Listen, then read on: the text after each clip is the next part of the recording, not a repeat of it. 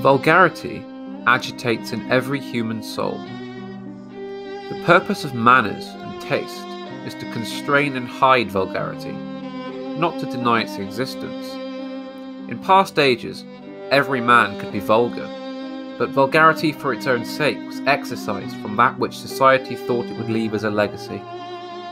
Nowadays, vulgarity is an artificially imposed cultural order, and those who do not adhere to it are guaranteed to be mocked. The television, the radio, the internet, all have ensured that vulgar action, thought, tastes, and language have colonized the world.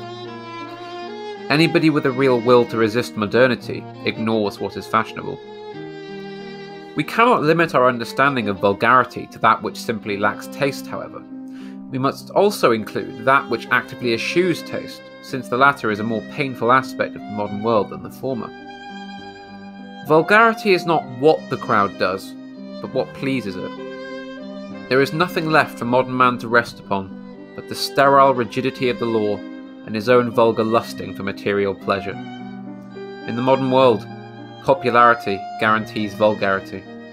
Only religion is capable of being popular without being vulgar, although it is necessary to add that the liturgy in modern vernacular is def- definitively vulgar. The dead classical languages offer a refuge from vulgarity because they are not degraded by constant misuse, as our contemporary ones are. One must believe in God to avoid vulgarity.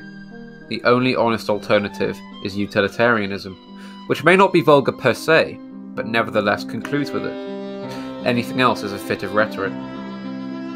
This subject is a particularly sore one for the reactionary.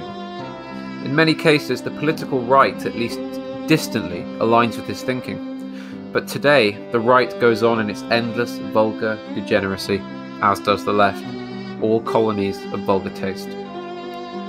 Societies ruled by an aristocratic minority enforce a civilization because it keeps the rulers safe. Modern society, ruled by representatives who represent increasingly large masses, can afford to be as vulgar, cruel, or rude as they wish. In ancient societies, the great mythical historical heroes were the standards of human life. Their mere existence was exemplary. In modern democracy, only those lacking in every admirable quality are raised to sainthood. Heroes are those who eschew taste and embrace vulgarity. Civilizations cannot exist if only vulgar instinct reigns over them. In order for new civilizations to be created, congenital vulgarity must be almost totally silenced.